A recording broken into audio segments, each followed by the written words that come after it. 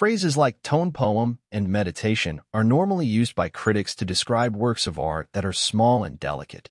Margareth Olin's new documentary Songs of Earth, Norway's selection for Best International Feature at next year's Academy Awards, is surely a tone poem and equally surely a meditation on all manner of things. From our relationship with nature to the parent-child bond. The film, which boasts Liv Ullmann and Wim Wenders among its executive producers, is also surely a delicate film, one that frequently feels like it benefits more from being experienced than analyzed or interrogated. Yet Songs of Earth is not a small movie. It's a documentary that should be seen on the biggest screen at your disposal, whatever showcases its epic cinematography to its best advantage. Don't sell Songs of Earth short, mind you, as an exclusively visual experience. Its sound design and score are every bit as immersive, and that may hold the actual key to best experiencing Olin's film. Not everybody, or most people even, will get to experience Songs of Earth in a festival setting. But once the documentary makes its way to PBS or Netflix or whatever streamer acquires it, the more you're able to shut off external stimuli.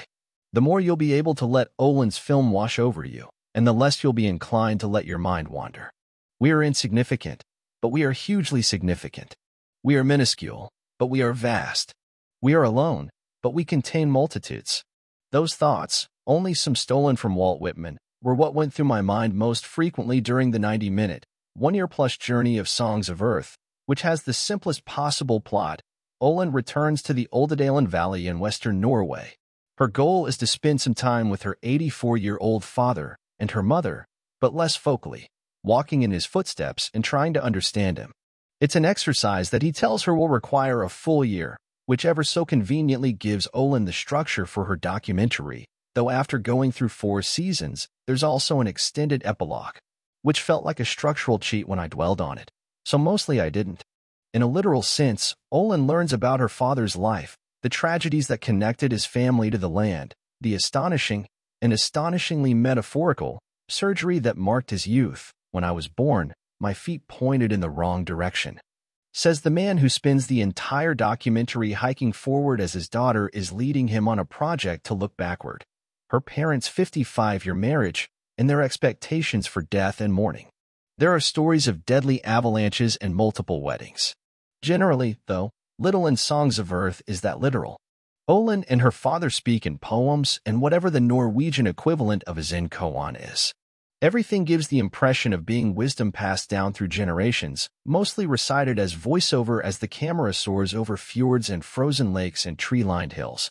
Across glaciers that laugh at the idea that 400 years of history is more than a blip. But, not surprisingly, it's a documentary that's aware of the changes to the climate, the changes to the landscapes, the idea that history and mortality could apply to a parent and to nature, all with very few shots that include anything manufactured or man-made imposing itself on the terrain. That separation of human from nature is disingenuous, of course, because Songs of Earth is a modern technical marvel attributable to cinematographer Lars Erlend Tubaas Øymo, as well as multiple drone photographers and a group of credited wildlife photographers. That's before you get into the sounds of whispering wind, gurgling bodies of water, and the unnerving, and yet fully natural popping and cracking of various ice formations. Masterminded by sound designer Tormod Ringnes and melded in seamless harmony with Rebekka Karijord's score. As Olin's father says of their own aging, the outside may be fading, but we're still healthy on the inside.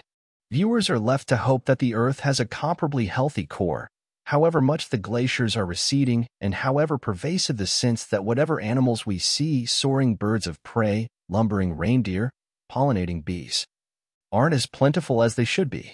There's hardly a word spoken in the documentary or an image. Olin's father's face welcomes the tightest of close-ups, revealing crevasses and cragginess to match the most topographically dynamic of fjords that doesn't have a double meaning.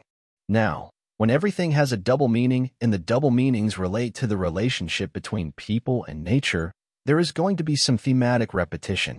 The same is true of the photography, as breathtaking as it consistently is.